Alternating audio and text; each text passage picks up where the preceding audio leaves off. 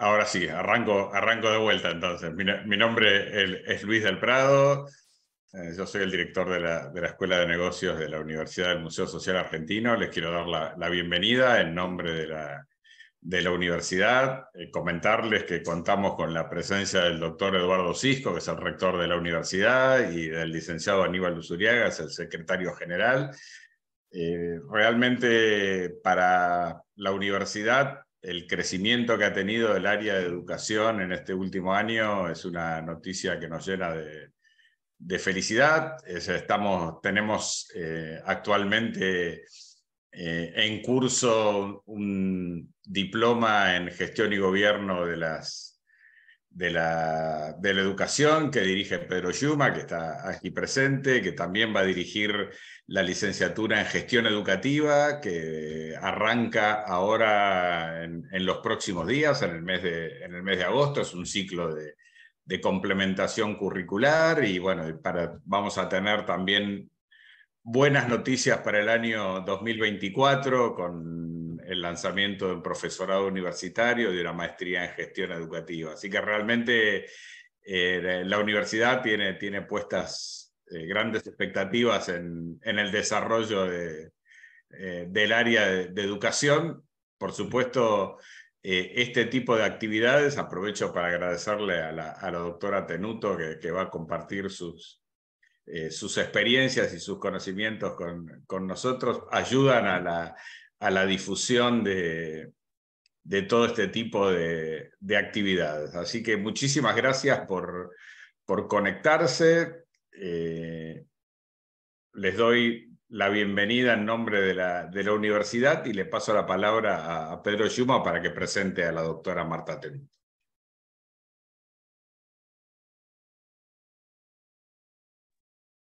Hola, buenas tardes. Bueno, como dijo Luis, un placer estar aquí con tanta gente para tratar un tema que por lo general en, la educación es un tema importante, siempre volvemos y lo repensamos, la evaluación, la pensamos mucho en el momento de la pandemia, ¿eh? tuvimos que replantearnos cómo evaluábamos y ahora nos volvemos a plantear el tema de la evaluación en el marco de este nuevo fenómeno que ha empezado a, aparecer y a estar entre nosotros, que son las inteligencias artificiales y el famoso chat GPT.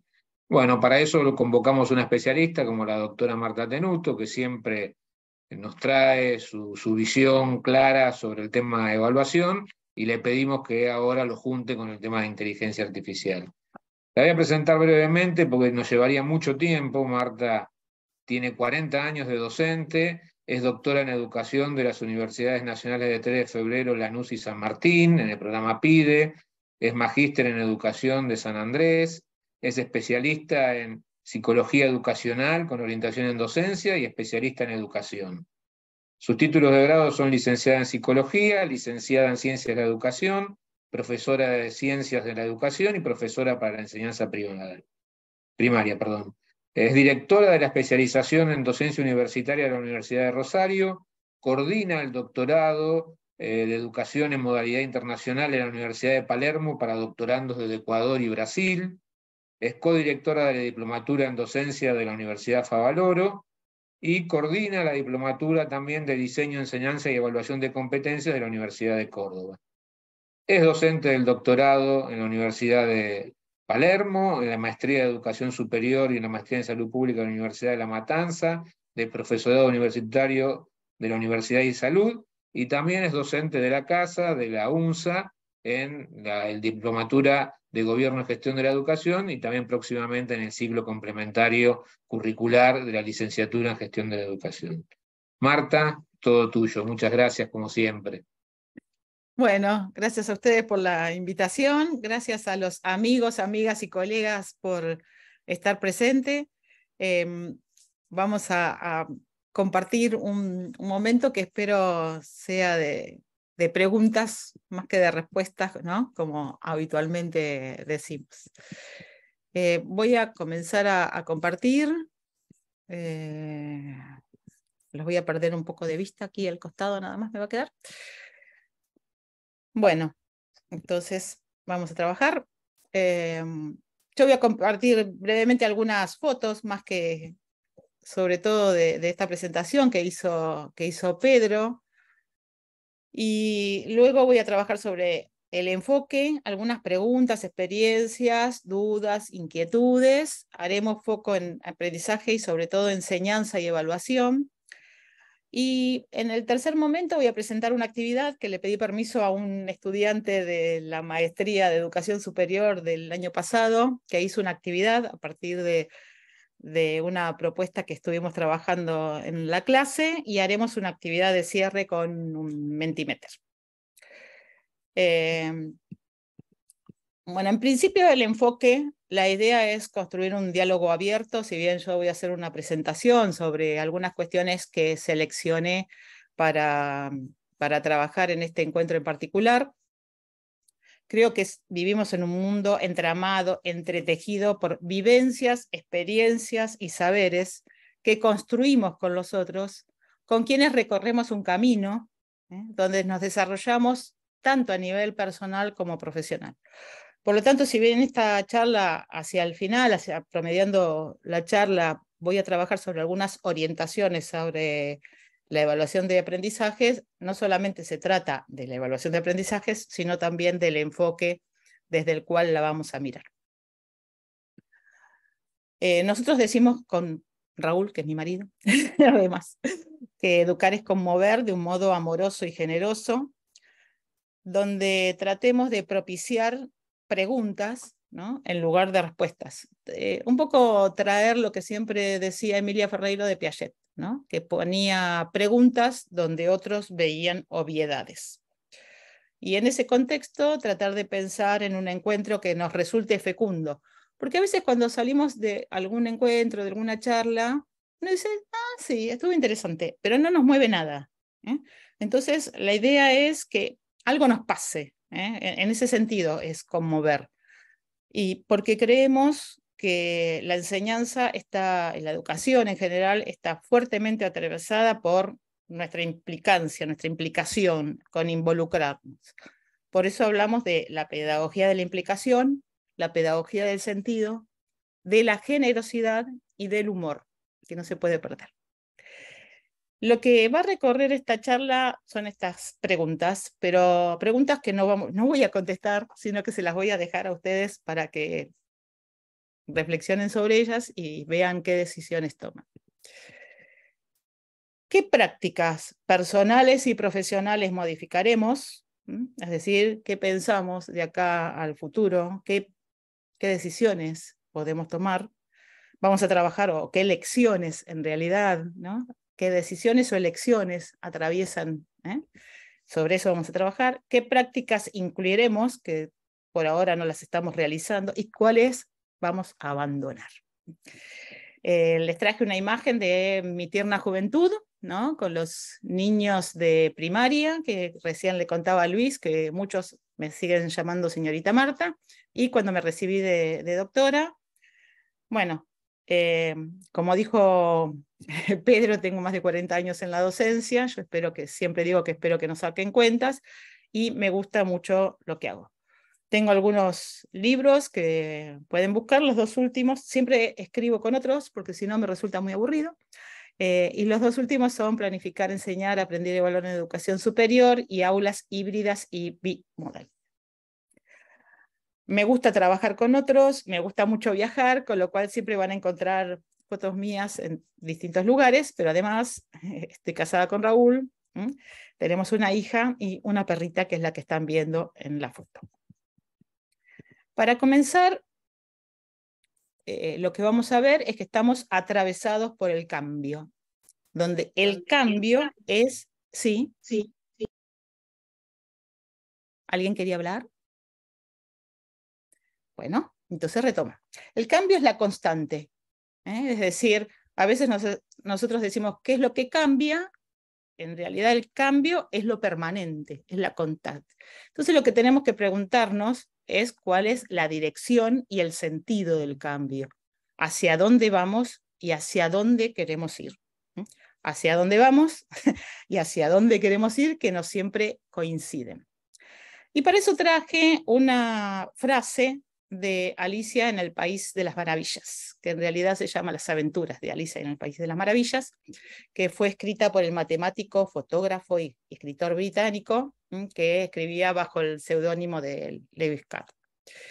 Por favor, dice Alicia al gato, ¿podría decirme qué camino tomar a partir de aquí? Eso depende mucho del lugar a donde se dirija, responde el gato. No me importa mucho, a donde sea. Entonces, no importa mucho qué camino tome. La pregunta acá que comparto con ustedes es ¿a qué lugar nos dirigimos? ¿Es a donde sea? Entonces, esa es la primera pregunta que les dejo a partir de lo que nos dice Alicia. Tal vez porque yo me llamo Alicia también. Entonces, ¿qué genera la búsqueda de un cambio? Genera parte de un estado de insatisfacción. Nosotros, hombres y mujeres, todos tenemos, nos moviliza el deseo y siempre queremos un cambio a partir del estado de insatisfacción. La insatisfacción es permanente, así que si alguien cree que uno logra algo y a partir de ahí, bueno, es, así se moviliza el deseo, así funciona el deseo. Entonces, nosotros tenemos algo que no nos satisface, nos parece que puede estar mejor y creemos que hay una situación a la cual podemos arribar. Y ahí pensamos en el cambio. Ahora, antes de pensar en un cambio, nosotros dije, el cambio es constante y estamos cambiando. La pregunta es, ¿qué queremos cambiar y hacia dónde vamos?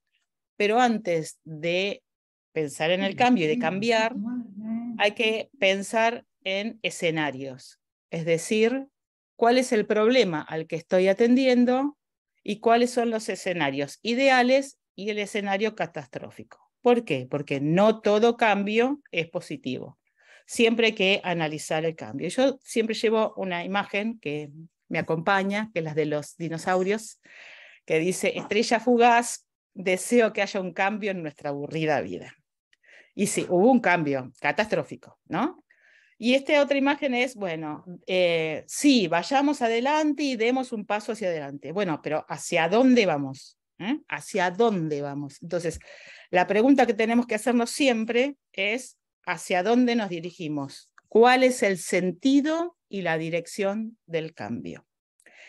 Para trabajar los temas que voy a abordar, que está vinculado a inteligencia artificial, voy a tomar una frase del autor que se llama Oscar Luis Gracier, que es un argentino. Lo voy a usar como una especie de llave, por eso les puse la llave, que es tratar de identificar qué significados producimos y reproducimos en nuestra sociedad. ¿Por qué? Porque esos, algunos significados nos hacen sensibles a esta toma de decisiones. Por eso voy a compartir con ustedes algunos hitos vinculado a lo que se llama la inteligencia artificial para ver cuáles son esos sentidos que se producen y reproducen. En principio, un famoso Peter Drucker, que es el que habla de la sociedad del conocimiento. Entonces, junto con otro autor que es menos conocido porque se murió antes, em, son los que están trabajando sobre esta idea de que las tecnologías de la información y la comunicación transforman radicalmente mercados, productos, puestos de trabajo, etc. ¿Y qué hace que nosotros veamos la sociedad y el mundo de una manera distinta?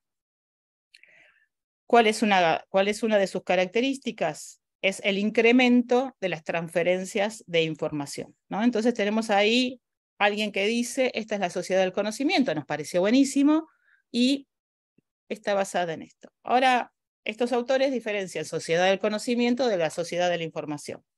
Y dicen que solo que la información, la sociedad de la información solo crea y difunde datos, así en bruto, sin procesamiento. Entonces, uno dice, bueno, sociedad del conocimiento, entre sociedad del conocimiento y de la información, me quedo con la del conocimiento, porque hay un procesamiento de los datos. ¿eh? Transforma la información ¿eh? para tomar medidas efectivas. Si ustedes miran en el, eh, yo no lo decidí, pero si ustedes miran la difusión, el flyer, hablaba de la efectividad. ¿no? Entonces, está sostenido en esta idea de que con mayor información que yo lo transforme en conocimiento voy a poder tomar medidas efectivas. Ahora, ¿cuáles son sus pilares? Esto es interesante porque no siempre se difunden los pilares de la sociedad del conocimiento. Los pilares, según estos autores, es el acceso a la información para todos, la libertad de expresión y la diversidad lingüística. ¿eh? Con lo cual nos estamos alejando de la idea de una uniformidad en las formas de pensar, un respeto, ¿eh? por lo menos, a lo que piensan los otros, y una socialización ¿eh? de esta información. ¿Cuál es uno de los riesgos? Es la ilusión de la hipercomunicación. Es creer que porque tenemos tecnología estamos decididamente comunicados. Em, bueno, cada uno de ustedes le vendrá seguramente a su imagen. Nosotros a veces estamos en algún lugar y vemos, hemos visto dos personas, una enfrente de la otra, cada una con un celular y cada una escribiendo en su celular, ¿no? Entonces nos preguntamos ahí de qué comunicación hablamos. Entonces estamos, por ahora yo estoy trabajando sobre esta idea de la sociedad del conocimiento que transforma la información en recursos que me permite tomar decisiones efectivas. ¿Eh? ¿Y qué es la efectividad? Es esta capacidad para lograr esto que deseo o que espero en ese marco. Entonces me muevo por la sociedad del conocimiento. Ahora, cuando yo pienso en la sociedad del conocimiento, lo que también tengo que pensar es que cuando algo afirmo, como diría Bioy Casares y sobre Borges, cuando algo afirmo, algo me queda fuera. Es decir, si yo digo que la sociedad es del conocimiento, la pregunta que yo me tengo que hacer es si solo de conocimientos. Y si es solo de conocimientos, ¿qué me queda fuera? ¿Eh? ¿Qué, ¿Qué de lo posible de las relaciones humanas estoy dejando afuera? ¿Qué estoy dejando afuera? Vinculado a las emociones, a los sueños, a las expectativas, a los problemas, a los desafíos, a los proyectos. Es decir, ¿qué me está quedando afuera cuando yo enuncio que es la sociedad del conocimiento? Eh, la alegría, ¿no? el placer por jugar, ¿qué me queda afuera? ¿Mm? eso se los dejo, segunda inquietud, ¿qué me queda afuera cuando hablo de la sociedad del conocimiento? Ahora, eh, yo estoy trabajando sobre la idea de los cambios y, en la educación. ¿Cómo se traduce esto en educación? ¿Sí? Mientras tanto admito a alguien, como diría Saborido, y sigo. bueno, entonces les, traje un, relato personal. Una, dos, dos eh, experiencias que están vinculadas con mi hija, que la tienen ahí. Mi hija ya es más grande, tiene más de 30 años ahora, pero cuando era chica, cuando tenía unos 13 años, mientras que en la escuela le enseñaban a trabajar con Word, ella ya diseñaba páginas web, dibujaba manga y anime, y, tenía como otro tipo de desarrollo. La escuela no respondía a su crecimiento creativo. Y tenía una profesora que le decía que no tenía que dibujar porque no copiaba la realidad. Después, eso era los 12 años, después hizo la licenciatura en, en, fotografía y quería hacer una tesis sobre en qué medida la fotografía, eh, era el tiempo del Photoshop, hace 20 años, eh, influía en la construcción de la realidad. Y también le dijeron que no, porque no correspondía a una tesis. ¿no? Eh, bueno, no se desanimó, en la parte inferior tienen a un eh, ornamentador de camellos, ella se dedica a ser contadora de historias, ¿no? Eh, ahí tienen su página, pero lo que quiero es compartir con ustedes es cuántas veces nosotros a los estudiantes que tienen, eh, que están tratando de desarrollar su creatividad, ¿no? Los, vamos les vamos poniendo trabas en el camino. ¿Y, ¿Y por qué es preocupante? Porque el otro día me dijo una profesora de primer año de la universidad que ella nota que los estudiantes llegan con menos expresividad que antes. ¿eh? No nos deberíamos preocupar. ¿eh? Entonces, nosotros no solamente somos nuestras acciones, nuestras prácticas y nuestros conocimientos, no solo somos la inteligencia, sino también somos nuestros sueños, nuestras emociones, nuestras vivencias. De lo contrario, ¿eh? somos nosotros los que nos estamos transformando en máquinas porque las emociones, las vivencias, los sueños es lo que nos caracteriza. Ahora entremos por la puerta ¿eh? entremos a la puerta de la inteligencia artificial. ¿De dónde viene la idea? Parte de la intención de lograr que una máquina tenga una inteligencia similar a la humana.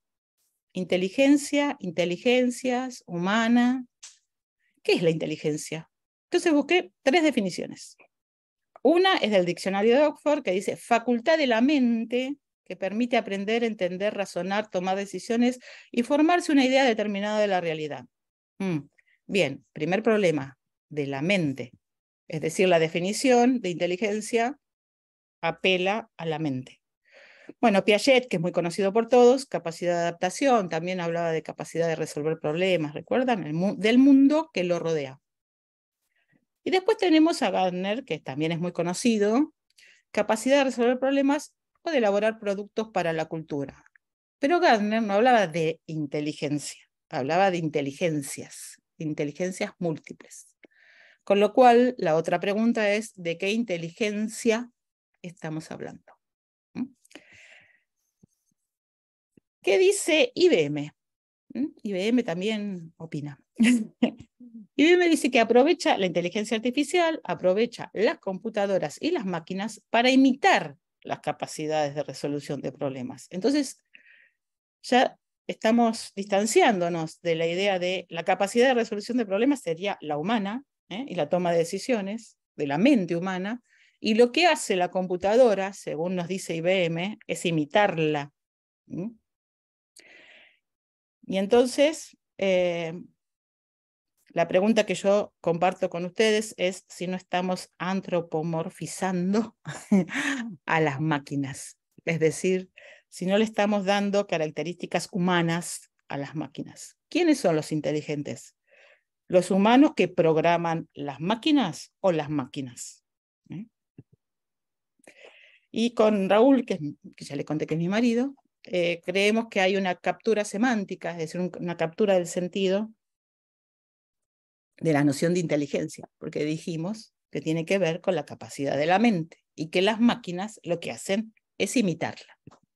¿De dónde viene la inteligencia artificial? Viene de este autor, este, este investigador, eh, que a principios del siglo XX fue el que participó en el desciframiento del código Enigma en la Segunda Guerra Mundial, quería demostrar que una máquina programada puede sostener eh, conversaciones como si fuera humano. Es decir, él lo que quería mostrar es que si una máquina podría sostener una conversación sin que nos diéramos cuenta, de esa diferencia entre que lo está haciendo una máquina y que lo está haciendo un humano. Y decía que si lográbamos ¿eh? que el 30% lo creyera, eh, estábamos bien, lo habíamos logrado.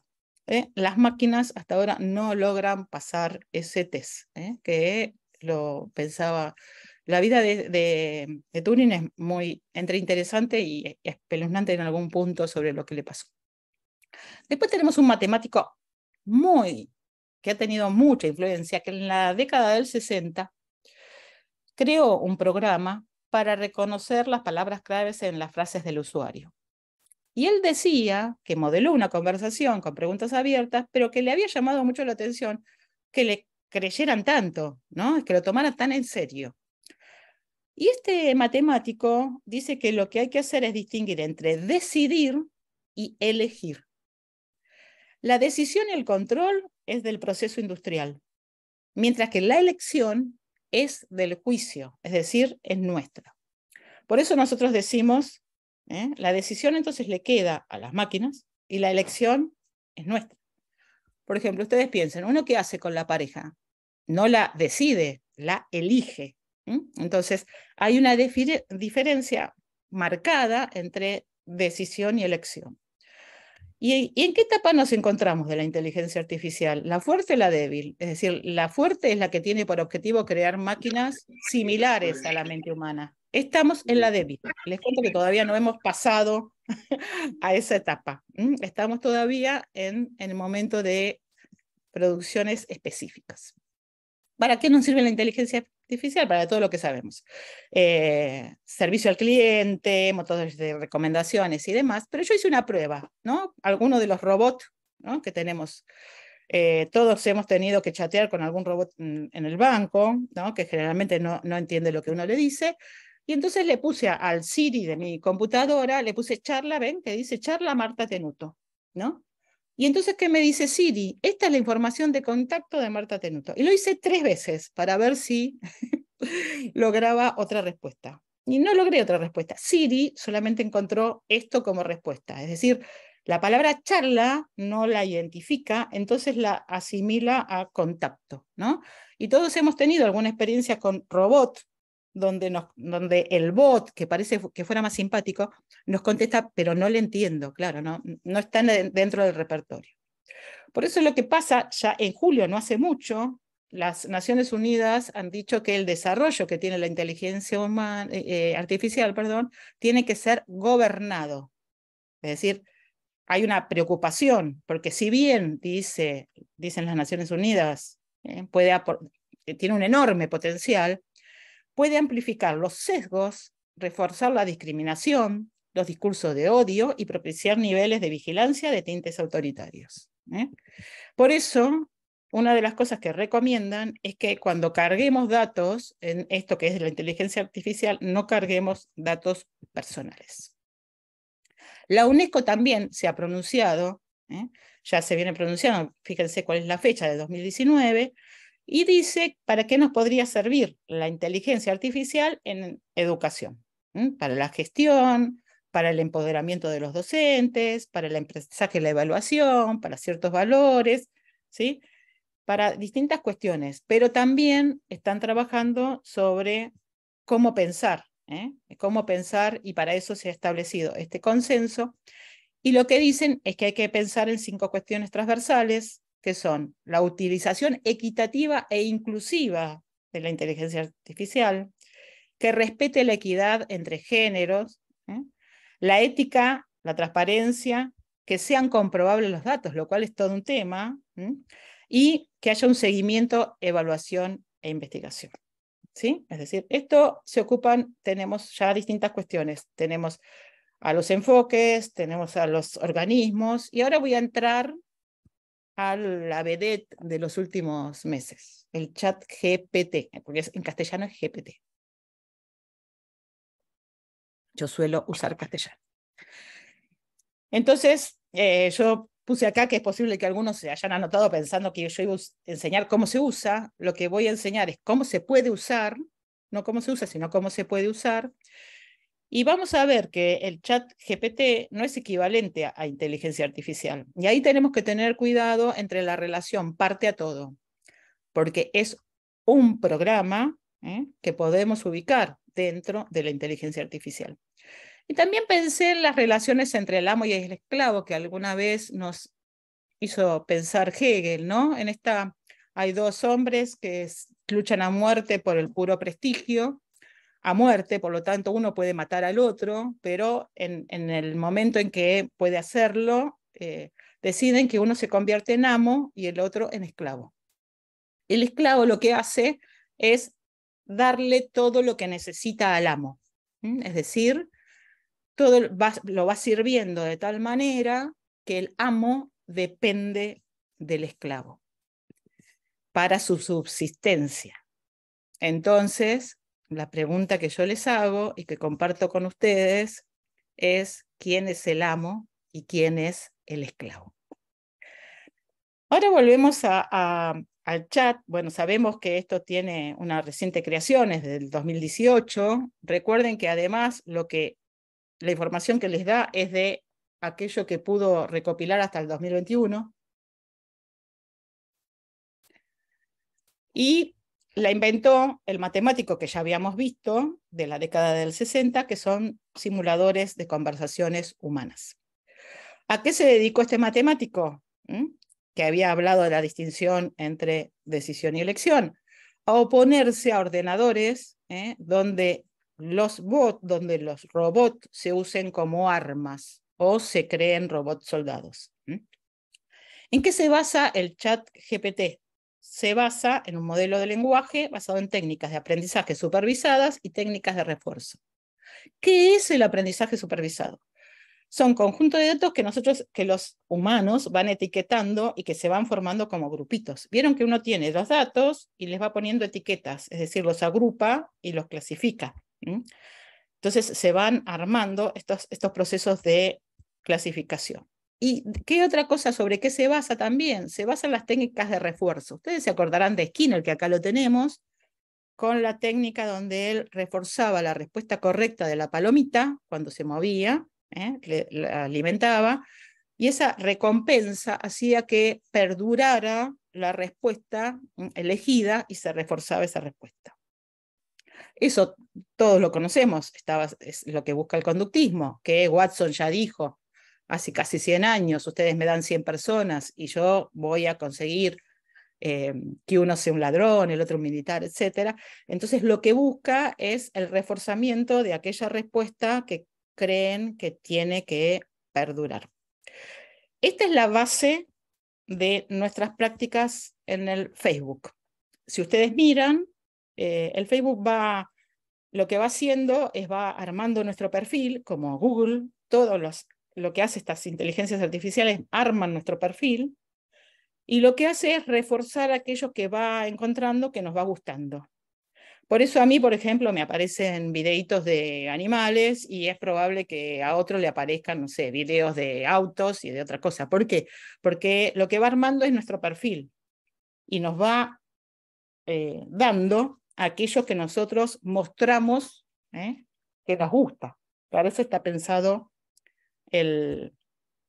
esta forma de reforzamiento. Eh, si alguien quiere saber más sobre este tema, los, invito a mirar la película El desafío de las redes, que está en Netflix.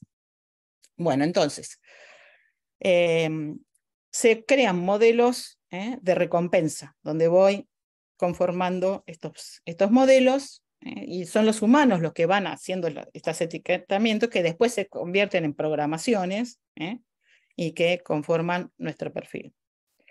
Ahora, ¿qué dijo Noam Chomsky, que es un lingüista que creo que tiene 96 años, es impresionante su capacidad analítica, sobre el chat GPT. Dijo, la mente humana no es una pesada máquina estadística de comparación de patrones que se atiborra de cientos de terabytes de datos y extrapola la contestación más probable, sino por el contrario, es un sistema sorprendentemente eficiente e incluso elegante que funciona con pequeñas cantidades de información, que busca explicaciones, digamos, explicaciones es cuando decimos por qué pasan las cosas.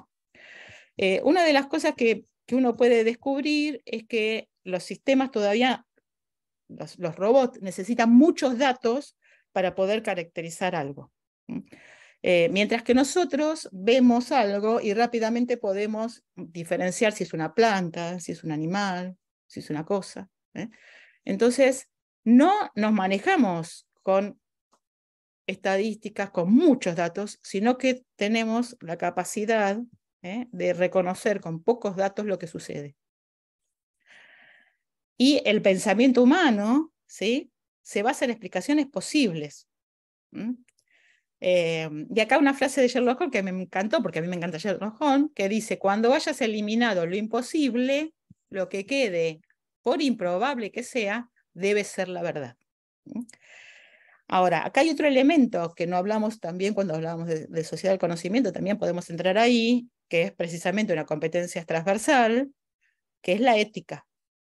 Es decir, en qué medida las máquinas eh, pueden incluir la ética, porque nosotros tendríamos, por lo menos eso esperamos, y tratamos de formar no solo profesionales, sino sobre todo ciudadanos que se comprometan éticamente. Bueno, este es el encuadre y ahora vamos a entrar en las relaciones entre aprendizaje, enseñanza y evaluación. Sobre esto se podría hablar mucho, pero hasta aquí. En educación, ¿qué enfoque? Nosotros siempre, miramos desde algún lugar. ¿sí? Los que me conocen saben que yo insisto con esto. Nosotros estamos atravesados por nuestra historia vital, nuestra trayectoria, nuestras formas de pensar, por las formas que nos enseñó la profesión. Digamos, hay un sinnúmero de cuestiones que intervienen en nuestra perspectiva. Siempre miramos desde algún lugar. Por eso es importante pensar que los grupos ¿eh? cuando son heterogéneos, lo heterogéneo hace al enriquecimiento y no a su empobrecimiento como a veces creemos. Y hay un término muy interesante que podemos pensar, que es la idea de prosumidor. ¿Qué quiere decir prosumidor? Es aquel que no solamente consume, sino que también produce. Creo que en los últimos años y en producto de la pandemia, muchos de nosotros hemos, nos hemos convertido en prosumidores, es decir, nos convertimos ¿eh? de, de consumidores, en muchos casos, a productores. ¿Qué dice aquel enfoque que trae la idea de prosumidor? Que hay, que hay tres ejes que tenemos que trabajar, que es el diseño, la comunicación y la evaluación. Todo esto en un marco de trabajo colaborativo, de respeto y de valor ético. Y el componente investigativo lo atraviesa todos. Entonces voy a pasar brevemente por el eje, cada uno de los ejes, y después voy a entrar en enseñanza y evaluación. Entonces, el prosumidor, ¿qué, ¿qué piensa? ¿En qué ámbito se mueve? Diseña ambientes de aprendizaje. Es decir, nosotros pensamos en cuáles son esas plataformas que mejor nos usan, nos, nos sirven, ¿eh? o modificamos lo que tenemos, por ejemplo, el Prezi, que mi amiga Analia, que por ahí la vi que andaba, le encanta el Prezi. Entonces, ¿qué podemos hacer? Entramos al Prezi y podemos ver que alguien hizo un Prezi y que nosotros lo que podemos hacer es modificarlo. Es decir, podemos utilizar, reutilizar lo que otros utilizaron, lo que otros diseñaron, lo que otros hicieron. Lo podemos usar también como, como está, porque está a disposición. Tenemos que pensar también estrategias de comunicación e interacción y que estas estrategias tienen que ser colaborativas, reflexivas, abiertas a la discusión. También tenemos que pensar en actividades pedagógicas y didácticas. Y acá insisto con que las decisiones, ¿eh? las elecciones son nuestras. Tenemos que pensar en cómo comunicarlo de una manera abierta, donde trabajemos sobre fortalezas y debilidades con el uso de las TIC o de las TAC, ¿eh? del aprendizaje y el conocimiento, o de las TRIC, como vamos a ver después pensando en, un aprendizaje donde no sea lo que estoy haciendo ahora, que es hablar nada más, donde participen, donde el otro sea crítico, donde compartamos preguntas, ¿eh? donde cada uno pueda ir buscando sus respuestas. Ustedes saben que a mí me gusta pensar en Hans Gadamer, que trae esta idea del horizonte de expectativas sobre el texto para pensar la clase. Yo voy con preguntas y las voy resolviendo o fortaleciendo. De hecho, cuando uno le pregunta qué se llevan, van a ver que son todas cosas distintas. Para desarrollar la creatividad, trabajar con los otros, ¿eh? que permeen nuestras acciones ¿eh? y en ciertos trabajos propositivos. ¿eh? Si ustedes, no sé si les pasa, pero en los últimos tiempos solo parece que es el monumento a la queja, por lo menos en Argentina. Nos dice, bueno, a ver, está bien, eh, analizamos la realidad y ahora pensamos qué podemos hacer, ¿eh? porque con criticarla solo no alcanza. ¿Cuál es nuestro desafío? Avivar la curiosidad. Eh, y acá quiero hacer un paréntesis. Recordemos que los niños, las niñas construyen la realidad a lo largo del tiempo. Si nosotros le ponemos desde pequeños una pantalla delante, van a construir la realidad a través de la pantalla y van a creer que eso es la realidad. Ya está pasando con nuestros niños y niñas que creen que existe un mundo de príncipes y princesas, ¿no? Em, bueno, preocupemos, preocupémonos eh, sobre lo que está pasando con los niños. Bueno, y hacer una serie de preguntas y poner a disposición experiencias. ¿eh? El eje de la evaluación, alimentar los ejes que ya hablamos, trabajar sobre la retroalimentación y básicamente ir virando de un uso de las tecnologías de la información con un carácter instrumental hacia un uso, de las relaciones, de la comunicación con los otros y demás. Para eso, los cuatro componentes resultan centrales. Cuando pienso en evaluación, tengo que pensar en planificación, tengo que pensar en aprendizaje, tengo que pensar en enseñanza. En general, cuando pienso en enseñanza, pienso cómo creo que los demás aprenden. Eh, y a, mí en los últimos tiempos me gusta trabajar en este camino, que es de las situaciones auténticas, ¿Cuáles son las situaciones auténticas? Aquellas más próximas a la vida social y profesional de nuestros estudiantes, de nuestros aprendices. Es decir, situaciones reales. Eh, yo sostengo, ¿no? hoy estaba leyendo un filósofo que decía que la realidad está ahí, nosotros tenemos que, mm, eso es muy aristotélico, pero creo que la realidad se construye y por lo, por lo tanto tenemos que trabajar para esa construcción, promover el desarrollo de capacidades, las capacidades llevan mucho más tiempo que aprender algo, y evaluar para y del aprendizaje. Sabemos que las tareas auténticas requieren una serie de requisitos, ¿eh? pensar en propósitos, destinatarios, incertidumbres, restricciones, recursos y procesos. Y por lo tanto el desafío que tenemos como docentes es pensar en tareas que estén formuladas de la manera más contextualizada posible, para que los estudiantes se sienten en estas situaciones próximas a su desempeño social y profesional cuando estamos hablando ya de la formación profesional o de la universidad. Para eso hay que planificar. Y para poder trabajar tareas auténticas en la evaluación, tenemos que haber trabajado tareas auténticas en la enseñanza. Voy a silenciarlos. Miren qué tarea fea. Miren, eh, yo dije voy a silenciarlos a todos y salió Siri para mm, preguntarme no sé qué cosa. Bueno, entonces ahora que fuimos de lo general a lo particular, estamos entrando en las prácticas de enseñanza. Nosotros tenemos prácticas de enseñanza que tienen distintas, yo voy a usar una clasificación entre las posibles. Siempre que utilizo una clasificación, dejo algo afuera, así que, bueno, esta es la que utilizo habitualmente yo. Yo ahora estoy haciendo una exposición, estoy centrada en un saber. Y, o una exposición dialogada, si pudiéramos hacer un intercambio. Y entonces el foco está en el saber, las pruebas pueden ser escritas, orales, estructuradas y no estructuradas. Podría ser una exposición y discusión con un mapa conceptual. ¿Cuál es el foco? En el relacionar y jerarquizar. Y la evaluación la puedo hacer con mapa conceptual porque trabajé con mapa conceptual.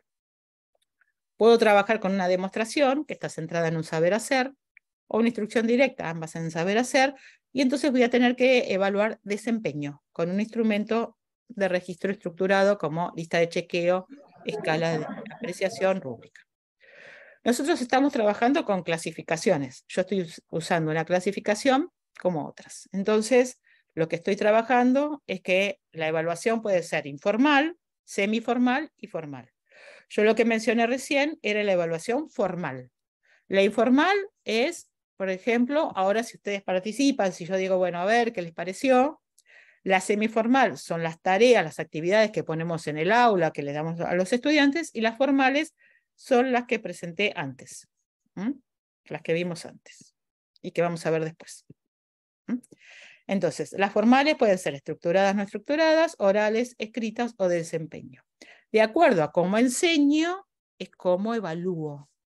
¿eh? Si yo trabajé con un tipo de propuesta, la evaluación debe estar relacionada con eso. Y voy a tener que munirme de algún instrumento estructurado para la corrección. Lista de chequeo, escala de estimación o de apreciación y rúbrica. Ahora, recordemos algo. Si yo quiero desarrollar capacidades, esas estrategias que les mostré recién son insuficientes, porque solamente la que uso mapa conceptual, que trabajo sobre relaciones, me va a servir para desarrollar la capacidad de jerarquizar y demás, pero las otras no, no desarrollan capacidades. Entonces, tenemos que pensar en cuáles son otras estrategias, otras prácticas que me van a permitir desarrollar capacidades. Y la otra pregunta es cómo me voy a apoyar con la tecnología. Entonces, volvamos para atrás. Si yo tengo una exposición, una exposición dialogada centrada en el saber y voy a tomar como evaluación formal pruebas escritas, orales, estructuradas, puedo tomar algún tipo de evaluación semiformal a través de foros semiformal. ¿Mm? Entonces podría poner que vamos a poner un foro colaborativo donde todos tienen que aportar algo. ¿Se acuerdan que la idea era que fueran prosumidores? Es decir, que no solamente nosotros seamos prosumidores, sino que también los estudiantes. Entonces tienen que buscar, ¿eh? llenos de esperanza, y aportar algo. y puedo ponerlo como criterio de cursada. Es decir, todos tienen que aportar algo y es obligatorio, pero no lleva nota, es obligatorio nada más. Para esto también me puedo servir del Google Drive, con las limitaciones que tiene el, Google Drive, que a veces nos, nos dejan, hay que pedir permiso, etcétera, y demás. Pero podría darles ¿no? alguna actividad donde ellos trabajen, ellos y ellas trabajen y tengan que compartir, ¿no? Y después tener algún tipo de lista de chequeo, escala o rúbrica si decido evaluarla de manera formal.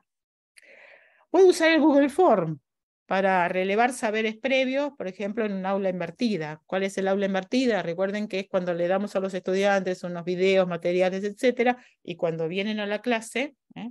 vamos a trabajar con ellos. ¿Mm? Bueno, ahora, ¿para qué me va a eh, servir el chat GPT? ¿Eh? ¿Para qué me va a servir? El chat usa lo que se llaman prompts, que son enunciados para, entre comillas, comunicarnos. ¿sí? En realidad son instrucciones. Nosotros le damos las instrucciones y el chat busca información. ¿Mm? Por ejemplo, de algo que necesito, que me indica cómo puedo hacer algo. Ahora, ¿qué tengo que hacer para que los enunciados sean más precisos? Incluir criterios. ¿eh? Tengo que, cuanto más criterios le pongo al, al chat GPT, más preciso es lo que me va a responder. Recordemos que es información. Entonces estamos en esto que estamos trabajando. Ahora, si yo trabajo con exposición y, discusión y lo que quiero desarrollar es relacionar y jerarquizar, voy a utilizar un mapa conceptual. Para usar un mapa conceptual puedo utilizar el Lucidchart, por ejemplo, que es un programa que permite compartir la elaboración del mapa. Es muy intuitivo, ¿eh? es decir, hay que irlo corriendo. No, el único requisito cuando el mapa es compartido es que todos tienen que estar registrados y desde uno de ellos se invita a los demás, que permite desarrollar la capacidad de relacionar conceptos, de jerarquizar, etc. Puedo evaluar con mapas si enseñé con mapas, si no, estoy en problemas. También el, el Lucichar permite elaborar diagramas, cuadros sinópticos, Recordemos que la diferencia entre mapa conceptual y cuadro sinóptico es que el mapa conceptual es jerárquico, lo general a particular, y las relaciones entre los conceptos horizontales de la misma jerarquía están en igualdad. Mientras que los cuadros sinópticos, el, mapa tiene eh, enlaces, ¿eh? no tiene enlaces el cuadro sinóptico. Entonces, muchas veces hacemos cuadros sinópticos más que mapas conceptuales. ¿sí? Eh, para eso les puedo dar a los estudiantes una rúbrica analítica donde diga cómo se espera, o una lista de chequeo, cómo se espera que lo haga. Puedo usar un Mentimeter, que es lo que vamos a usar al final de esta charla, para relevar saberes previos o que se llevan, por ejemplo. ¿sí?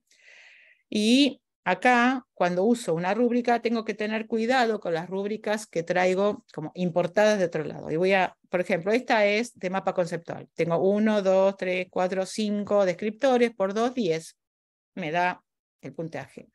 Ahora, ¿en qué tienen que tener cuidado? Miren esto, conceptos principales. Incluye todos. Bueno, bien.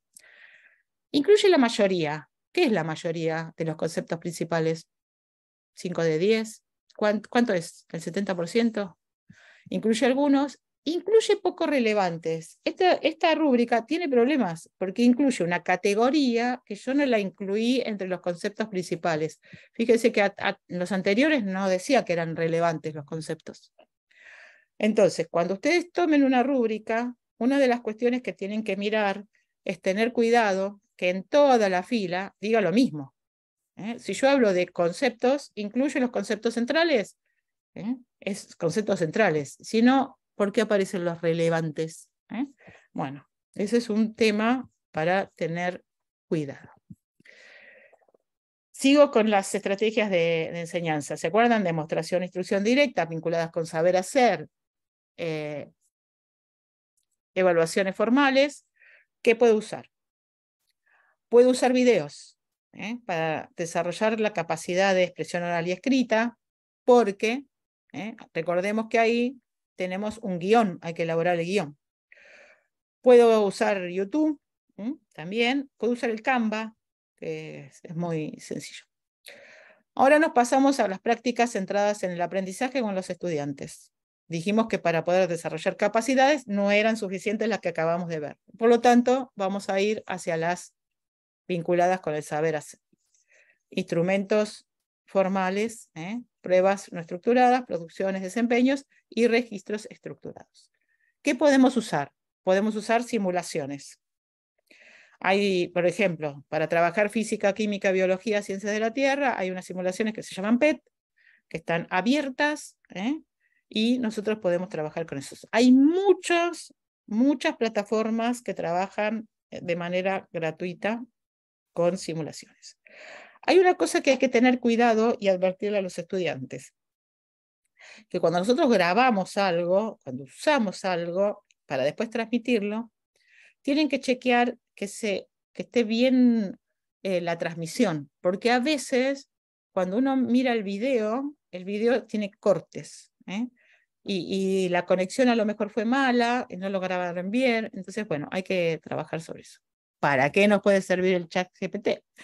Para simular entrevistas. ¿eh? Le pido que me simule una entrevista. Entonces, vamos a nuestras consignas. Yo el otro día estaba con las colegas en la diplomatura de gobierno y gestión. ¿eh? Vamos a dejar de compartir. Y por algo. ¿Cómo vamos hasta acá? Ya hablé ya hablé un montón. ¿Vamos bien? Sí, muy bien, muy bien. Muy bien. ¿Un poquito más? ¿Podemos un poquito más? Sí, Bueno. Ah. Entonces, un poquito más y ya terminamos. Para no cansarlo, pero después van a tener que hacer algo ustedes. Entonces, yo les contaba que el otro día estaba con las colegas de la diplomatura de gobierno y les dije, van a imaginar que viene el director de la diplomatura a preguntarles qué se llevan de esta materia en parejas tienen que elaborar un párrafo. ¿Y eh, para qué me sirvió la plataforma? Estábamos en un Zoom para armar grupos y cada uno de los grupos fue y elaboró un párrafo. El párrafo era, fueron todos distintos, porque para poder elaborar el párrafo tienen que haber estado en la clase y el GPT no me sirve para elaborar el párrafo, porque el GPT no estuvo en mi clase. y por lo tanto no va a poder responder a consignas auténticas. Entonces, ¿para qué me sirve GPT? Para buscar información. ¿Para qué no me sirve? Si yo le pongo consignas próximas al desarrollo profesional y social de los estudiantes, no va a poder responder, porque yo necesito que respondan de manera contextualizada. Entonces ahí tenemos ese tema. ¿eh? Em, recordemos que los desafíos cognitivos son diferentes. Entonces, si yo voy a trabajar esto de imaginen que tienen, tengo que trabajarlo en enseñanzas y después lo voy a trabajar en la evaluación.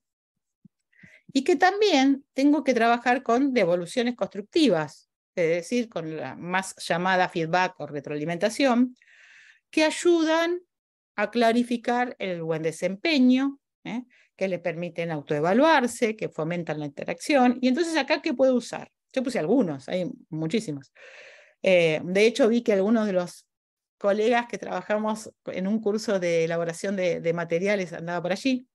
Podemos trabajar con un podcast. ¿eh? Podemos trabajar con foros. Hay foros de Moodle que permite eh, grabar dos minutos un video o un audio. Podemos trabajar con Spotify. Podemos trabajar con un programa que se pronuncia Anchor, pero se pronuncia, se llama Anchor, que se baja al celular. Entonces, hay una serie de programas y de recursos que nos permiten hacer devoluciones constructivas. Hay otros que nos permiten recuperar ¿eh? lo que hemos realizado. Acá hay uno que está, es, interesante. Este es, es, un descubrimiento que me trajo Raúl de una clase que, que vio de una, de una colega y que si ustedes miran, tiene una serie de materiales a disposición, que por ejemplo, este enlace tiene como, mm, eh, ¿vieron lo que aparece en la televisión, ¿no? que uno le, pega y, gira una rueda? ¿eh? Y, entonces va haciendo distintas preguntas y los estudiantes van contestando las preguntas, tiene un cierre lúdico. ¿eh? También podemos usar un TikTok para recuperar la clase. Entonces, yo les voy a, con permiso de mi estudiante, ya estamos finalizando, les voy a mostrar un TikTok que armó ¿eh? un estudiante el año pasado, cuando ante la consigna ustedes tienen que compartir qué aprendieron, ¿eh? qué se llevan de esta clase, y eh, era, era, la consigna para la semana siguiente. Era una clase de didáctica universitaria y el estudiante, como ustedes pueden ver, armó, vamos a darle audio, un minuto con 25. ¿eh? Es decir, él recuperó lo que vimos en la clase, que yo lo voy a compartir la ahora. La doctora Marta Tenuto nos invitó a recorrer las teorías del aprendizaje a través de un viaje en tiempo y espacio para poder ponernos en contexto de donde los protagonistas fueron moldeando las distintas ideas. Pero antes de comenzar, nos propone cuestionarnos en sentido común, cómo tenemos una construcción cultural para tener respuesta a diferentes situaciones sin un nivel de reflexión. ¿Y qué es lo relevante? Que podamos reflexionar las decisiones que tomamos como docentes. Muy resumido, los modelos que estuvimos viendo son el modelo individualista, los modelos individualistas, donde hay una enseñanza-aprendizaje, un estímulo-respuesta, repetición y ejercicio. Hicieron pruebas con animales, gato, paloma, con hijos, eh, y entendiendo que el hombre aprendía de la misma manera. Por otro lado están los modelos contextualistas, donde el sujeto aprende en situación. El docente ofrece un ambiente facilitador, pero no es el responsable de la enseñanza. Ambos modelos están atravesados por tensiones políticas, institucionales, sociales, personales. Y en un minuto estoy hablando de una clase de seis horas que podría haber sido de seis meses porque está repleto de información. Si te resultó interesante, hay un montón de cosas para averiguar y poder seguir construyendo. Bueno, eh, yo le pedí permiso a mi estudiante para pasarles a ustedes. Fíjense que es un minuto con 25 lo que hizo. Un TikTok. Eh, ¿Por qué? Porque a veces le decimos, bueno, eh, ¿cómo resumen lo que vimos en la clase de hoy? ¿No? Y siempre le pedimos papeles. es decir, le pedimos un párrafo, le pedimos algo en Word, a lo sumo algo, algún PowerPoint. ¿por qué no presentar trabajos finales? ¿Por qué no presentar a través de un video con una presentación? ¿Por qué no armar recuperaciones de clase a través de TikTok? Es decir, a través de todos los recursos que precisamente nos da la tecnología. Nos, a, nos implica también empezar a conocer algunas de las cosas que no usamos tan habitualmente. ¿eh? Pero a mí me pareció maravilloso. Yo le dije, hagan lo que quieran podemos hacer un video, hagan lo que quieran. Digamos, lo que tienen que hacer es una síntesis de lo que trabajamos estas seis horas. Y entonces Germán se le ocurrió hacer un TikTok. Y, y, a mí me parece bárbaro, porque fíjense que resume en un minuto 25. Ahora, no quiere decir que todo hagamos con TikTok, porque TikTok es un resumen. Entonces, es un nivel de trabajo donde yo centralizo, desarrollo la capacidad de síntesis. Fíjense que lo que hizo el estudiante es desarrollar su capacidad de síntesis. Eh, sintetizó seis horas en un minuto veinticinco. Entonces, bueno, es un desafío, es un desafío también para nosotros, ¿no? Bueno, para ir finalizando, esto lo podemos pensar en un portafolio de evidencias. Recordemos que el portafolio de, colección es la colección de los trabajitos ¿eh? y el reflexivo incluye el trabajo con eh, la palabra de los estudiantes. Las decisiones, ¿eh? nos quedan a nosotros, ¿sí? Y estoy volviendo al principio de la charla. ¿Qué prácticas personales y profesionales vamos a modificar? ¿Cuáles vamos a incluir? ¿Y cuáles vamos a abandonar? Y ahora para finalizar vamos a hacer una actividad tecnológica. Entonces los voy a invitar, las voy a invitar a que contesten esto. Pueden, pueden abrir o el celular o la computadora, da lo mismo tienen que imaginar que se encuentran con un colega, una colega, lo que quieran, y les pide que le resuman en tres palabras, las tienen que escribir en singular, y ahora les voy a explicar por qué, sobre lo que vimos en este encuentro. ¿Qué le dirían? Eh? ¿Qué tres palabras seleccionarían? ¿Por qué les puse en singular? Porque lo que se va a formar es una nube de palabras. Y entonces, si ponen aprendizaje, y aprendizaje es no, no lo integra porque es una inteligencia que todavía está limitada. Es decir, la nueve palabras no las, no las une las palabras en singular y en plural. Entonces, tienen que entrar a menti.com, tienen que colocar este código 1562-4667, ¿eh?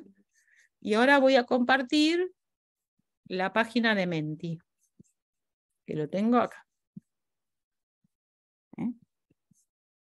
Voy a compartir la página de Menti. Aquí. Bien, entonces se supone que acá vamos a encontrar las palabras que ustedes... ¿Ven acá? Empieza a aparecer. ¿Ven cómo, aparecen las palabras? Uh, ¿Se me fueron? Por favor, repita el código. Acá, acá está arriba, mira, la tenés arriba. 1562 4667. ¿Nos puede poner en el chat directamente para en el enlace? La, la Muchas gracias. www.menti.com y el código es 1562-4667. Si ustedes miran, pueden ver cómo se van a ir formando la nube de palabras. Lo que estoy compartiendo.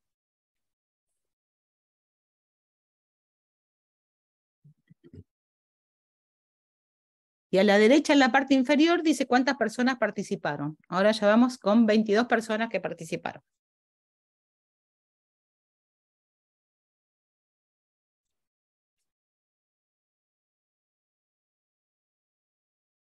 Esta es la parte más interesante que uno ve que, que se llevan.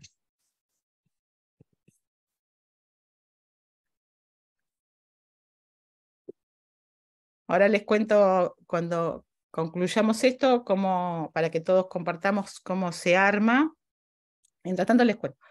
En realidad, el, estudiante entra a www.menti.com, como ustedes pueden ver en esta página. El docente, para armarlo, tiene que entrar a Mentimeter. ¿eh? La página completa donde utiliza el, docente es Mentimeter. ¿eh? Eh, y entonces ahí, en ese Mentimeter, tienen que elegir esto que está a la izquierda, nueva presentación. Por ejemplo, yo elegí, ven, nube de palabras, en, lo que estoy marcando a la derecha. Ven que acá eligen, en este, en este lugar donde estoy marcando con la flecha, eligen qué quieren hacer. Y abajo, ven, donde estoy señalando también con la flecha, acá, ¿eh? es donde colocan la consigna. Y acá ven que yo le puse hasta tres palabras. Por eso les dije tres. Entonces, es, es, esto de sencillo. Después ustedes le dan al estudiante menti.com y le dan un código. ¿Qué cosa tienen que prestarle atención? Yo este lo hice hace varios días y a veces cuando pasan los días les cambia el código. Tengan en cuenta eso porque si les cambió el código y ustedes le dan el código que, que tenían inicial, les puede traer un problema porque no van a poder entrar. ¿eh?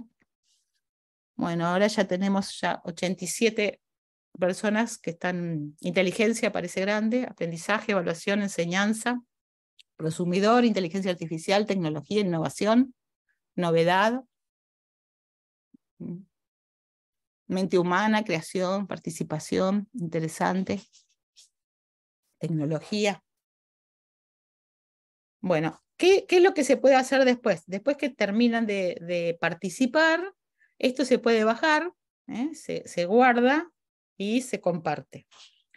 Eh, ¿Qué tienen que hacer para usarlo de manera que no les cobren? Porque este es un recurso gratuito, pero ¿cuándo es gratuito?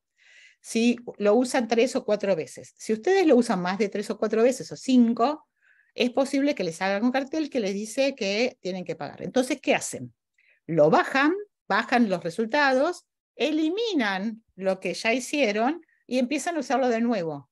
Es decir, lo pueden usar mientras ustedes eliminen que no queden demasiadas actividades dentro de su, de su perfil. ¿eh? Es decir, esa es, esa es un poco la idea.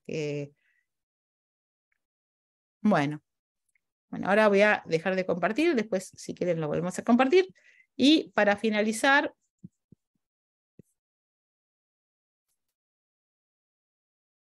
para finalizar elegí una frase. Eh, un poema de Benedetti. Dice, hagamos un trato.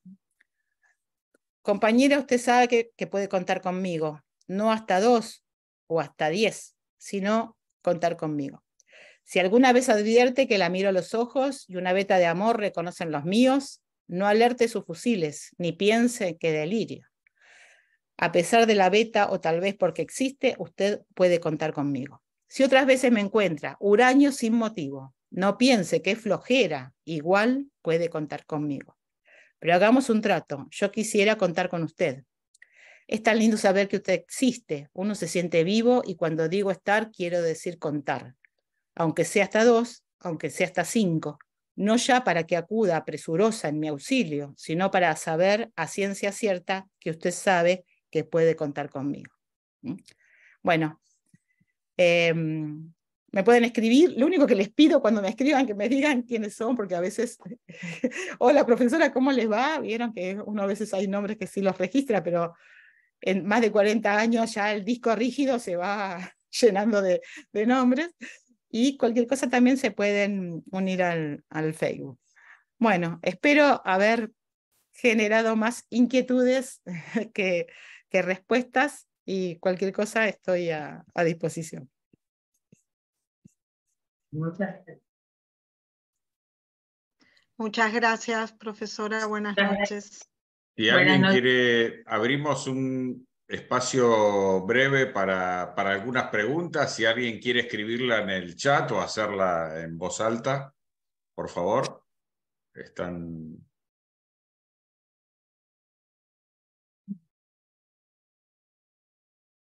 Sí, buenas tardes. una pregunta. Eh, perdón, lo tenemos a Néstor, vamos, vamos, por orden. La tenemos a, Néstor Mucio, eh, que fue el que primero levantó la mano. Adelante, Néstor. Hola, Néstor, ¿cómo te va? Hola, doctora, ¿cómo le va? Un gusto estar nuevamente en contacto con usted. Bueno, la verdad que usted ya me conoce de varios cursos. Este, yo eh, vine interesado, interesadísimo en esto por el tema que iba a abordar este, usted se extralimitó, se fue a otros temas de aprendizaje, en fin. Yo quería hacer centro en la, este, en la parte de inteligencia artificial. Este, la verdad que tengo una mala experiencia porque me tomó mal parado en la materia del primer cuatrimestre. Eh, la aparición de eh, este ChatGPT eh, yo suelo dar este, trabajos así para que, este, publicaciones para que los alumnos hagan un resumen y se expresen con sus palabras sobre el mismo. Entonces empecé a encontrar este, producciones de los alumnos eh, con perfecto, este, eh, digamos, inclusiones de palabras, este, eh, que inmediatamente me di cuenta que no eran elaboraciones de los... ¿Cómo? Que algo pasaba. Sí, que no eran, no eran propios de los alumnos, inclusive este, de tercer año y de quinto año no eran propios de ellos porque la carencia que tienen en la redacción y en la lectocomprensión en este momento es atroz y va a ser peor los próximos años. Este, eh, y entonces eh, los tuve que sentenciar directamente, porque no puede ser, no puede ser que eh, ni bien apareció esta, digamos, esta tecnología, lo primero que hacen es utilizarla para el facilismo. Y después me llevé alguna sorpresa con el chat GPT, porque este, a mi, mi colega se le ocurrió poner en el chat GPT eh, este, la, la descripción que había hecho una alumna, a ver si lo había contestado él, y él contestó que sí, que había elaborado ese informe. Bueno, ahí quedó, entonces nos confirmó pero resulta que yo hago un informe y él hace otra prueba mucho más exquisita. Toma mi informe que yo estuve dos, tres días elaborando y lo pone en el chat GPT y le pregunta al chat GPT si él había hecho eso y le contesta que sí. Ahí murió, ahí murió definitivamente eh, la apreciación que, que, pudiera tener por esa tecnología y ya le digo, lo sentenció a los alumnos. Ahora eh, yo empiezo otra materia en el segundo cuatrimestre, así que ya les voy a advertir en la primera clase que no me utilicen porque se los reconoce al instante que son descripciones que no describen los alumnos por la carencia de redacción que tienen, son redacciones perfectas que le tira el chat GPT sobre temas conocidos, por supuesto, en la parte de este, enfermedad, en fin, biología, eh, etcétera, tema, o sea, evidentemente no cabe duda que, tiene mucha información GPT, ¿no? Lo que pasa, bueno, sí, igual es hasta el 2021. Lo que sucede, Néstor, es que recordá que Perrenú, que es un suizo, es el que acuña la idea del oficio de alumno. En realidad, el oficio de alumno atraviesa los niveles educativos y sabemos que ese es el oficio de alumno. Eh, por lo tanto, nuestro desafío es tratar de pensar en consignas que tengan que ver con nuestras clases. Si nosotros hacemos consignas contextualizadas, el chat GPT no va a poder contestarlas porque no estuvo en nuestras clases. Entonces va a ser imposible que pueda acudir a al chat o a cualquier otro programa para poder responderlas porque es una consigna contextualizada a lo que nosotros vimos. Por eso ese es nuestro desafío. El desafío es transformar, utilizar la tecnología, pero a nuestro servicio. Y para eso hay que también pensarlo ¿no? estratégicamente. Así que, bueno. Claro, eh, yo, yo le entiendo lo que usted quiere decir, pero la experiencia fue mala porque sin, sin considerar el chat GPT, ellos utilizaron el chat GPT para hacer eh, la vida fácil realmente. Y eso eh, enseguida se evidenció. Yo no le pedí trabajo de chat GPT. Son alumnos, es así. Puede ser que algunos, algunos lo hayan hecho, así que sí. Bueno, gracias, Néstor. Gracias a usted, como siempre. De nada. Eh, la palabra Rosana López. Hola, ¿qué tal? Buenas noches para todos. Eh, doctora Tenuto, eh, la verdad es que me quedé con ganas de más sobre la evaluación, sobre la evaluación con inteligencia artificial, específicamente la evaluación con ChatGPT. Chat GPT o bueno, GPT, como le gusta llamarlo a usted. Yo soy profesora de inglés, así que para mí... Ah, bueno. Así bueno, perdón. Sí, sí, te admito, te eh, admito que vos que sos de inglés.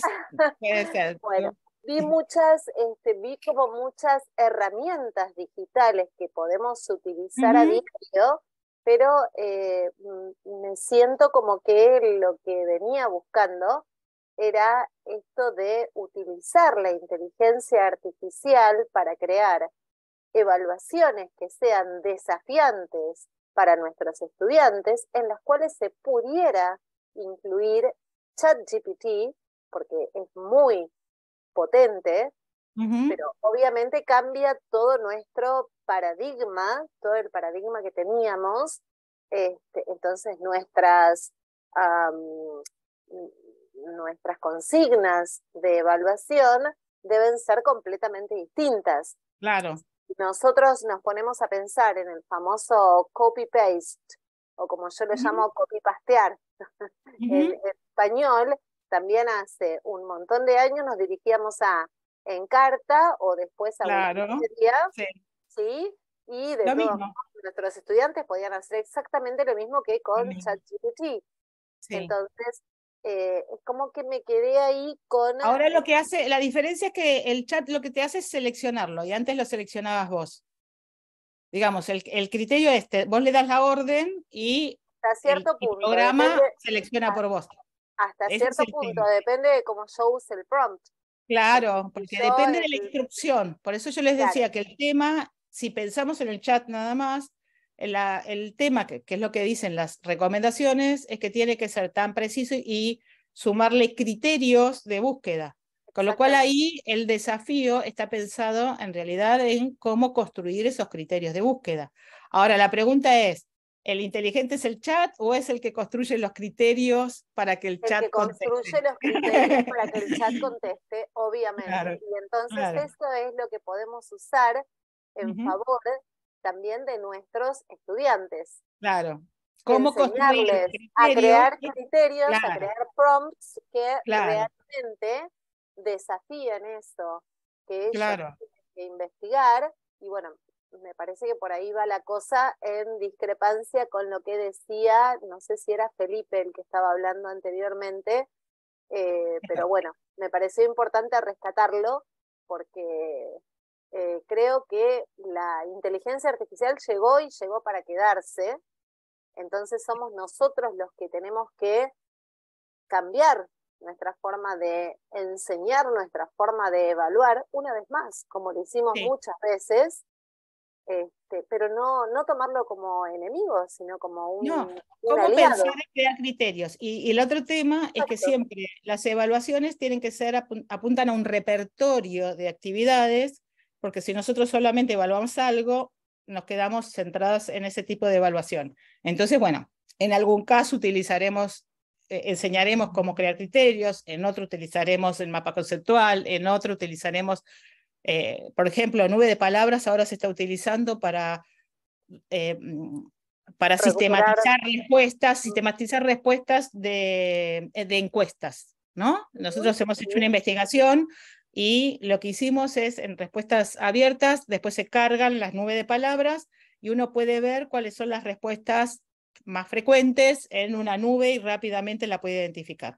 Entonces, depende lo que quiero hacer, es aquello que voy a usar. Y, lo que yo invito es a pensar que el chat es una herramienta más y que lo que tenemos que enseñarles es a usar la herramienta y que vean que es una herramienta al servicio de, pero que las decisiones las tenemos que tomar nosotros, que somos los que tenemos que desarrollar, ¿no? Los criterios de búsqueda, y ese es el desafío mayor, claro, ahí está el mayor. desafío de los docentes, justamente, buscar esos criterios de búsqueda o esos prompts que le tenemos que dar al chat eh, de repente si, bueno, eh, y es casi imposible contrarrestar, eh, porque no, hasta ahora no encontré ningún programa anti chat GPT porque les he cargado un montón hay uno nuevo que se llama algo así como perplejidad o algo por el estilo, eh,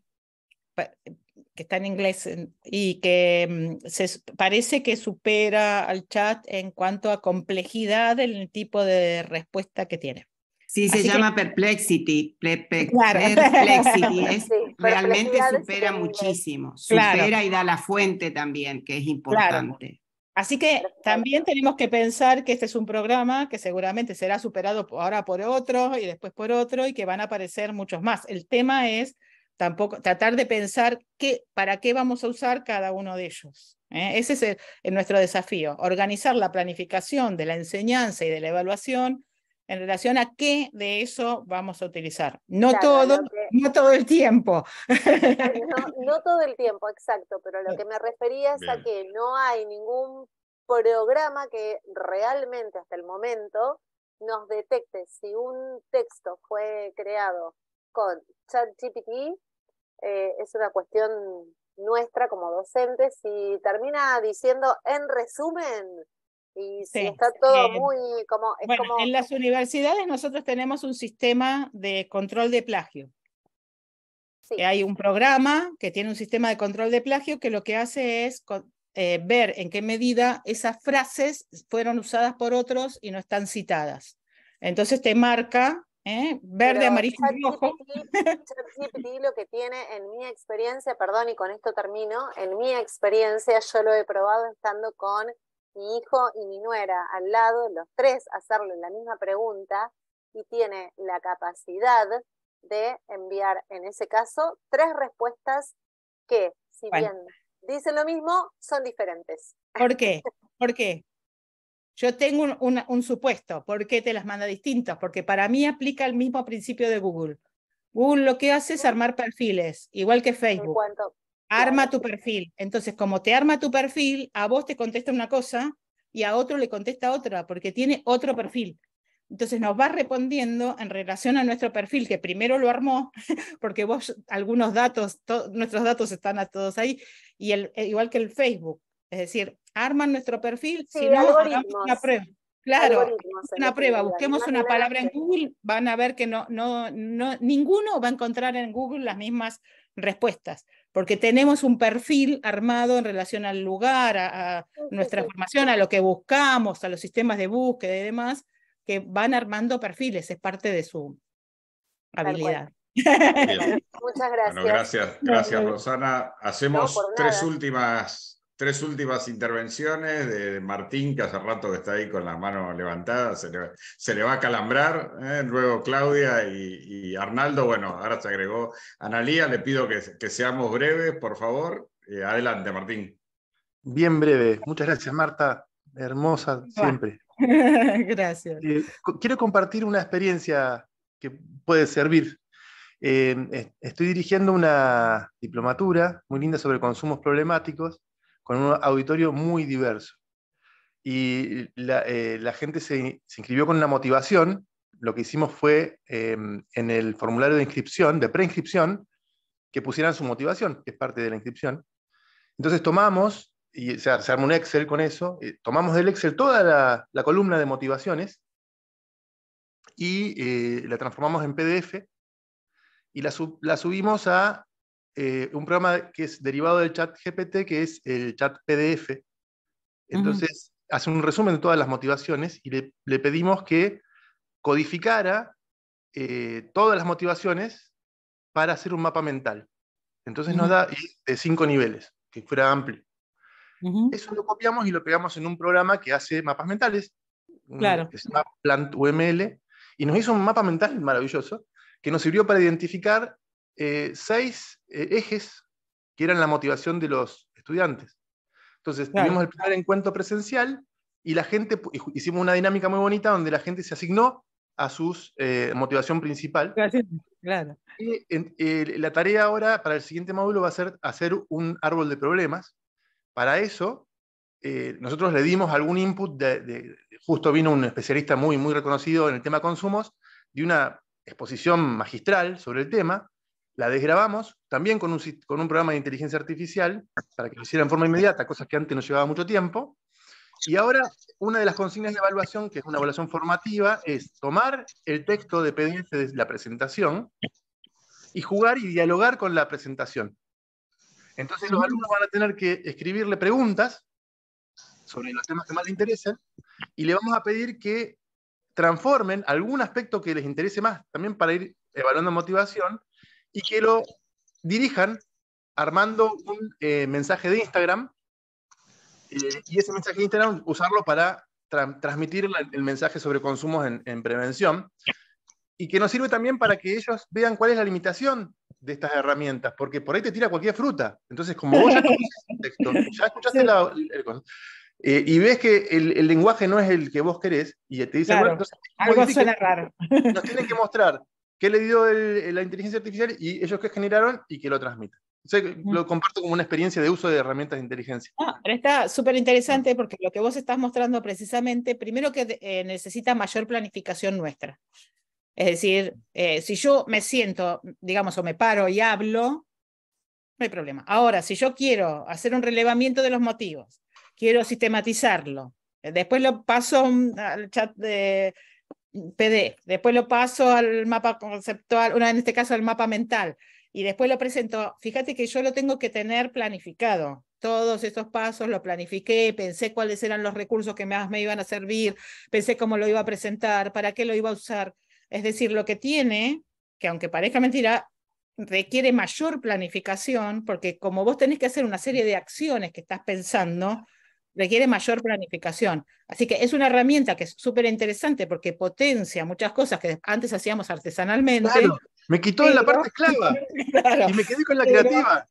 Claro, pero requiere de una planificación de cuáles van a ser, qué vamos a usar y, y cuáles van a ser nuestras acciones. ¿No? Entonces, siempre el tema es cómo lo uso a mi servicio, ¿eh? es decir, qué decisiones tomo para que esté al servicio de la enseñanza, de la evaluación, del aprendizaje.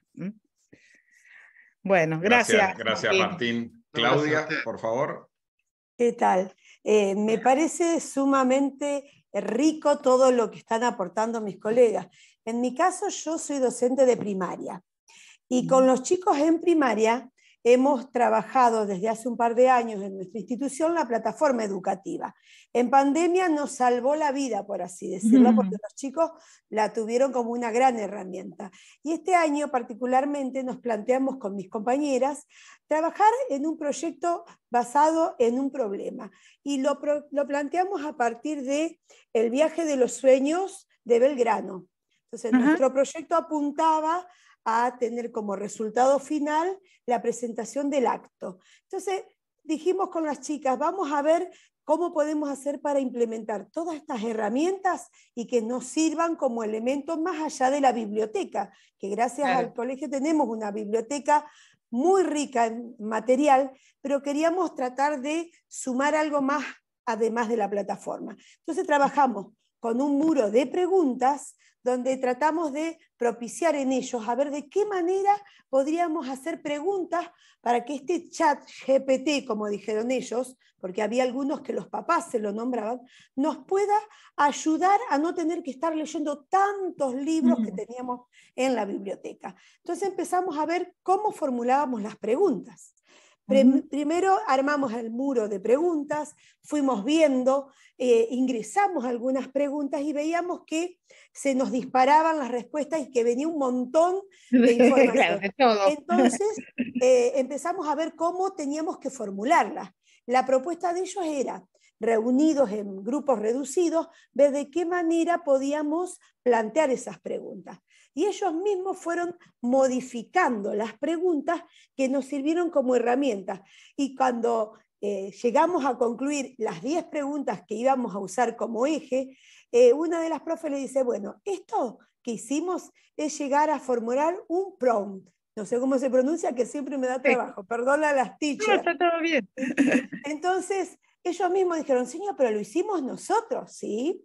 Y entonces el, robotito, dice yo. No, no, no, no, no, le digo.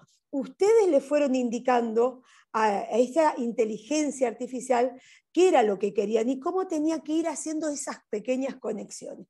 Fue realmente maravilloso. Estuvimos tres semanas que destinábamos ciertos horarios de las clases para hacer este tipo de trabajo, para que no se nos haga pensar tan pesado.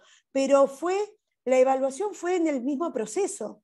Nosotros, al ir viendo cómo ellos lo iban utilizando, íbamos evaluándolo. Bien, ahí tenés otro tema, Claudia. Muy interesante la, experiencia, pero vos estás señalando otro tema, que es que lleva tiempo. Es decir, esto lleva un tiempo, vos estás señalando, nosotros nos reunimos durante tiempo, fuimos trabajando, lo procesamos. Exacto. Este trabajo lleva más tiempo. Por lo tanto, hay que. de 9 y 10 años. Claro, pero aunque sean más grandes, te digo, llega a tiempo igual, porque en realidad como lleva un proceso de trabajo, ¿eh? de, amasado, podríamos decir, de que trabajo y vuelvo y lo vuelvo a trabajar y demás, sí, sí. lleva más tiempo. Entonces eso también hay que tenerlo en cuenta. Cuando nosotros hacemos un cambio, si nosotros no consideramos que esta nueva actividad lleva más tiempo, a veces queremos hacer lo mismo en el tiempo que antes teníamos para otras actividades donde no estaban incluidas. Entonces hay que considerarlo la variable tiempo. Así que muchas gracias, Claudia, por tu experiencia y por, hacernos reflexionar sobre esto. Vamos entonces con las últimas dos eh, consultas. Adelante, Arnaldo.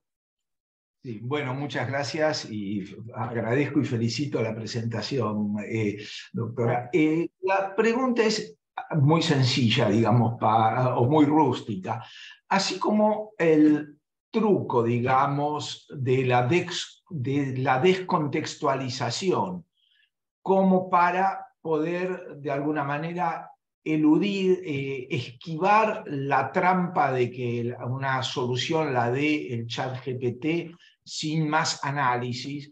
Eh, me parece que lo nombró al principio, pero después no hizo hincapié, pero como que nombró que había otros, eh, digamos, otros trucos, por decir de alguna manera, aparte de la descontextualización. Eh, nosotros por ahí, cuando se trabaja con casos, por ahí uno dice, bueno, eh, tendrían que buscar para el caso 3 o para el caso José, lo que fuera, digamos. Eh, esas son cosas que funcionan también como otras cosas que a veces usamos que son algún neologismo. Son cosas que cuando van a preguntar una palabra que todavía no existe o que se usa en las internas de un curso, el chat GPT no va a saber responderlo y va a tener que elaborar más datos del estudiante. La pregunta es si a, qué, otras, qué otros, yo digo trucos, perdone, pero digamos, qué otras maneras, qué otras prácticas uno puede utilizar como para eludir un poco esa trampa que en realidad se hace a sí mismo el, estudiante, porque termina no elaborando lo que tiene que elaborar para su propio desarrollo. Pero, a ver.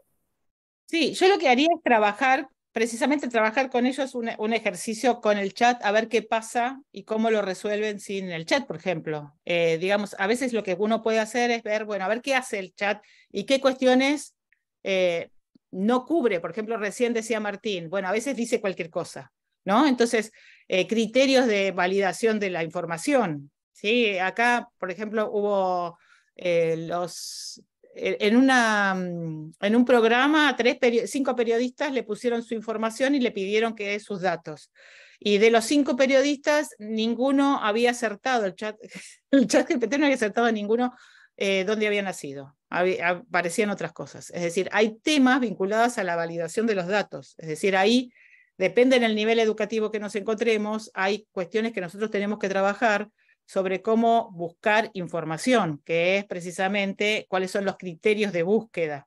Y ahí tenés un tema importante para, para ver, para controlar ¿no? las respuestas. Yo trabajaría sobre, eh, pero te lleva tiempo, digamos, vamos de nuevo, eh, más allá de que esté relacionado con lo de uno, tendrías que hacer un ejercicio eh, con una actividad cualquiera, que todos le ponemos una información y a ver qué nos responde para que vean qué tipo de información recibimos y qué calidad tiene esa información.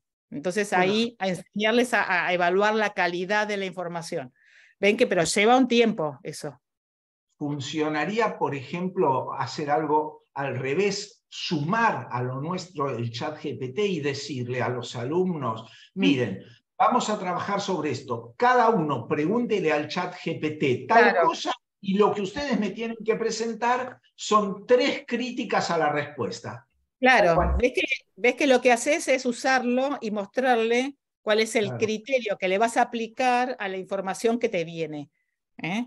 Es decir, eso, eso creo que es el desafío que cada uno tiene que leer a la luz de, los, de la materia que da, del nivel que se encuentra. Porque también depende si estamos en la universidad, si estamos en el grado, si estamos en el secundario, si estamos en formación docente.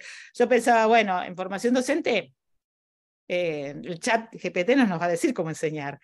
Es decir, es, Analí está ahí, que trabaja en formación docente, nos puede a lo mejor ayudar en un programa, pero resulta que el programa tiene que estar atravesado por cómo, cómo lo pienso yo. Entonces, bueno. Así que bueno. No, al contrario. Gracias, Arnaldo. Bueno, Analía, adelante. Justamente yo iba a decir lo que planteó Arnaldo. Yo trabajo con psicopedagogas y gracias a esta charla de mi querida amiga, pienso decirles que la tarea para dentro de un mes es trabajar ellas con el chat GPT, traer al aula todo lo que el chat dice y presentarle a la profesora lo que dice el chat y la crítica reflexiva que ellas hacen sobre esto. Justo lo que dijo Arnaldo. Lo que quiero decirles a mis queridos compañeros, los que ya somos mayorcitas, es que alguna vez la televisión fue el gran enemigo de la escuela. Después, también el cine fue el gran enemigo de la escuela. Dicen que cuando aparecieron los primeros libros impresos, dicen estos autores, todo lo que transmitían la enseñanza oral consideraban que el libro era el demonio y que iba a matar la transmisión de la información. Me parece que los humanos tenemos esta tendencia con la cual tenemos que trabajar de dejar de fabricarnos demonios. No hay demonios, hay cambio, hay transformación social. Y miren esta pavada que estoy diciendo, que me traigan a clase lo que el chat contestó. Y bueno, trabajo sobre eso, reflexiono, critico, me fijo lo que falta, analizo el lenguaje. La televisión no fue, bueno, fue una gran enemiga para algunos educadores, para otros fue una gran amiga. Eh, yo ahora estoy utilizando algunas películas de Netflix y series para analizar el peso de la cultura tan bien trabajado por Jerome Brunner. Es decir, somos nosotros los que nos tenemos que amigar con el tiempo cultural que nos toca vivir y entender que nunca vamos a enseñar bien si queremos irnos del tiempo, si queremos aislarnos en la gran torre de marfil, eh, que a veces queremos que las universidades sean eso. Así que muchas gracias, Marta. Voy a usar, te juro, el chat GPT. Después me contás. Nosotros tenemos con Analía, no saquen cuentas, 50 años de amigas. Exactamente. Así que existían otras cosas, qué sé yo. bueno, vamos, vamos por la vida. Bueno, muchas gracias, eh, Analia. Bueno. bueno, muy bien. Hemos llegado al, al, final. Le agradezco nuevamente a la doctora Marta Tenuto por, por su calidad y su calidez, eh, su calidad profesional y su calidez personal. Realmente creo que nos vamos todos con muchas inquietudes, con muchas preguntas, con, muchas ganas de, seguir profundizando esta cuestión y con un enorme desafío ¿ah? que de, adaptarnos a la, a la época que nos, que en la que nos toca enseñar y en la que nos toca vivir. Así que muchísimas gracias a todos por haberse conectado en nombre de la Universidad del Museo Social Argentino y espero que nos volvamos a encontrar muy pronto. Bueno, buenas noches. Muchas gracias a todos por la presencia, por haber donado una parte de su tiempo. Sí, Pedro. Buenas noches. Ah, bueno, entonces eh, nos vemos en algún momento. Muchas gracias y hasta pronto. Gracias, gracias. adiós. Gracias. Chao. Chao.